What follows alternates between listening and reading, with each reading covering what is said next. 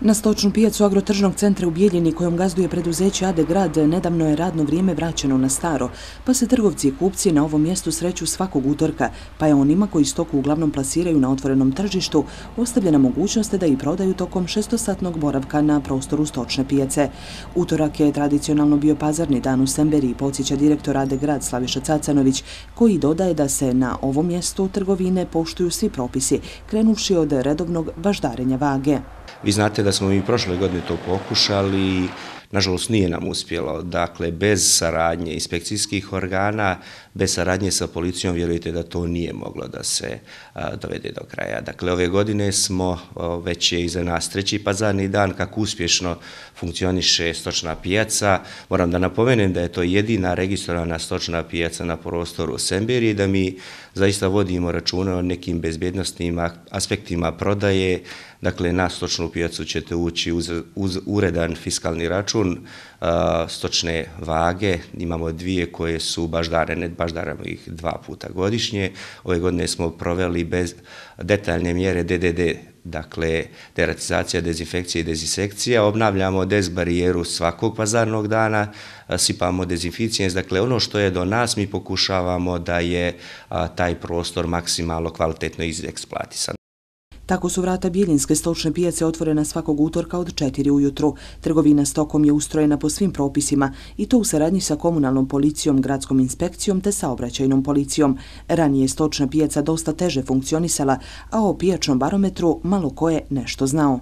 Mi otvaramo oba ulaza i nema zaista nikakvih problema. Dobili smo pozitivne impresije od strane korisnika te, tog prostora stočne pijace, svih onih koji dođu na taj neki tradicionalni način da prodaju stoku, jednostavno sad znaju i kakav je pijačni barometar, Vjerujte da u prethodnih mjesec, dva, tri, mi nismo kao neko ko gazduje stočnom pijacom znali. Nikad je radno vrijeme, nikada otvorimo stočnu pijacu. Stvarali su se gužve na ulazcima, ljudi su dolazili, oni koji kupuju imali su ogroman problem da ne znaju kada dođu da kupe. Sad smo to uveli u red i ovaj mi ćemo, ako dođe do problema, ponovno angažovati i inspekcijske službe i policiju da bi, da bi ovaj funkcionisanje stočne pijace bilo kao u nekim normalnim normalnim okolostima. Najviše poljoprivrednika pa i kupaca je na pijaci u intervalu od 5 pa do 8 časova ujutru, a pijačni prostor je na raspolaganju korisnicima sve do 10 časova. Ako se iskaže potreba, spremni smo, kažu u preduzeću gradi, da produžimo radno vrijeme. Dodaju da nastoje vratiti na Biljinsku stočnu pijacu i već odavno zapostavljenu trgovinu krupnom stokom. Mi imamo problem da trenutno na stočnoj pijaci nema trgovine, nije trenutno, već dugi niz godina krupnom rogatom stokom. Nama je u cilju da i to pokušamo da na neki način vratimo. Da li ćemo uspjeti, vjerujte, da se prethodnih godina ovaj promijenio i način trgovine prodaje, dakle savremeni tokovi i savremeni načini prodaje stoke.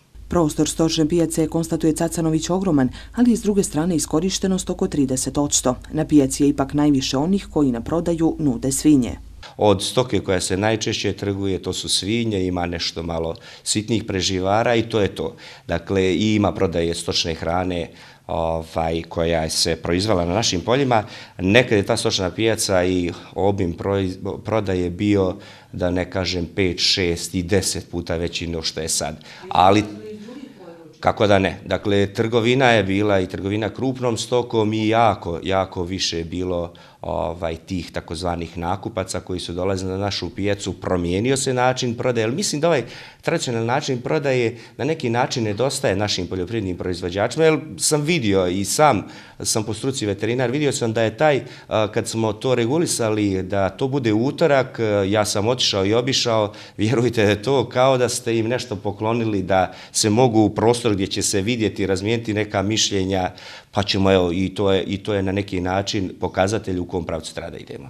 Cijene ulaza na stoču pijacu nisu se mijenjale u posljednje četiri godine, a promjena u cijenama neće biti ni u buduće, kaže Cacanović. Imamo rješenje Ministarstva poljoprivrede dugi niz godina, dakle jedino registrovano mjesto za trgovinu stoke je prostor koji mi gazdijemo stočne pijace u okviru predzeća Adegrada.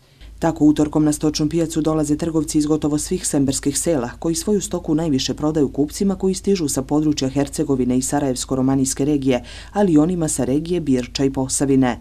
Ima i jedan problem, dakle nije sve riješeno na toj stočnoj pijaci, ono što sam vam rekao, bezbjednostni aspekt, ono što je do nas. Ima problem da se već dugi niz godina a, trgovina stokom se obavlja bez zdravstvenih uvjerenja, nažalost. To je problem, nije samo biljni, to je generalno problem u čitavoj Bosni i Hercegovini, pa tako i u Republici Srpskoj. Dakle, na tom polju treba se ovaj još malo poraditi, a ono što je dobro, da mi na našem prostoru nemamo zaraznih bolesti, ali treba biti uvijek oprezan.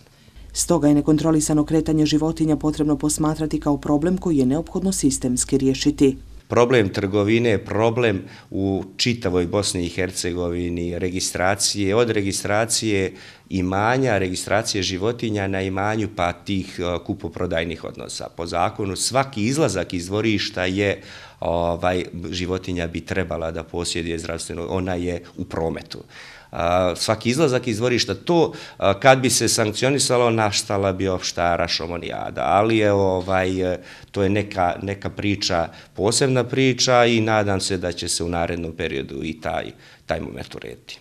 Ono što je sigurno, ovo je problem cijele Bosne i Hercegovine. Međutim, slobodno tržište daje odličnu šansu za plasman, pa i ekonomsku računicu onima koji vrijedno rade na svojim imanjima, održavajući proizvodnju na farmama.